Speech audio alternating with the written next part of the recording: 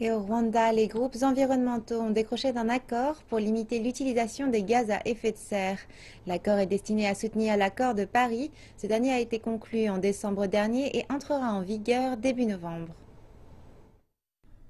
La volonté de réduire l'utilisation de gaz soupçonnés d'avoir un impact encore plus important sur l'environnement que le dioxyde de carbone a été bien accueillie par les participants réunis à Kigali.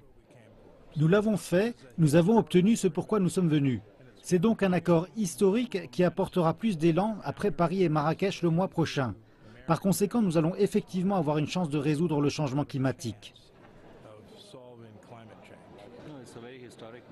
C'est un moment historique et nous sommes tous très heureux d'être arrivés à ce point où le consensus est possible et nous mettre d'accord concernant la plupart des questions qui étaient posées.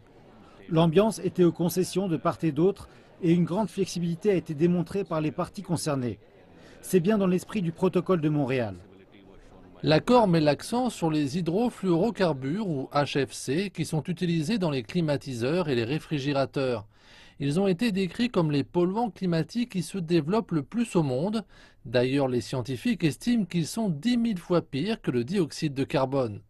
Cet accord visant à plafonner l'utilisation des HFC dès 2019 a été soutenu par les pays développés, dont les États-Unis. Aucun pays n'a le droit de tourner le dos à cet effort et d'oublier le sens d'un effort multilatéral alors que la planète nous observe pour littéralement sauver cette planète de la voie que nous avons choisie en ce qui concerne la façon dont nous alimentons notre énergie et ce que nous avons fait depuis plus de 150 ans. La plupart des pays en développement se sont cependant montrés préoccupés par les lacunes technologiques apparentes qui rendraient non seulement l'accord coûteux, mais aussi difficile à mettre en œuvre immédiatement et de façon pratique. Le sommet a décidé de leur accorder plus de temps.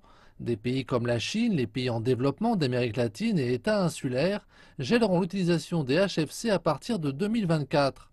D'autres, parmi lesquels l'Inde, le Pakistan, l'Iran, l'Irak et les États du Golfe, ne sont pas tenus de geler leur utilisation avant 2028.